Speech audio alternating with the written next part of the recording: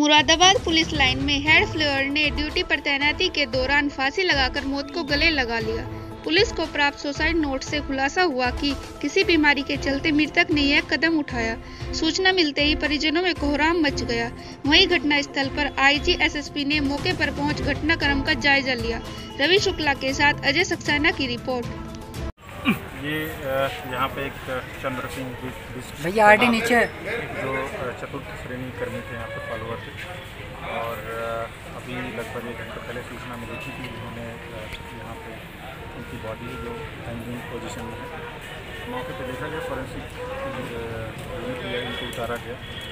और R D नीचे कर भाई। इनके लिए भेजा जाएगा उसमें एक नोट भी बरामद हुआ है। जिसमें उन्होंने कुछ चीज़ें लिखी हैं कि मैं रोज़ रोज़ इस बीमारी से तंग आ गया। वो भी मौके पर बरामद किया गया बाकी आगे इसमें जाँच चल रही है।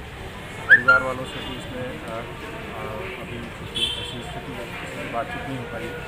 परिवार वालों से भी इसमें बातचीत हुई और फिर उसके बाद जो भी चीज़ें वो सामने आएँगी सर परिजन यहाँ मौजूद हैं कुछ आर आई साहब से कोई परेशानी बता रहे थे? बेटा नीचे ये इस चीज़ों की जाँच होगी अगर परिजन कह रहे हैं तो उस पर देखा जाएगा अभी मेरी उनसे बात नहीं हुई।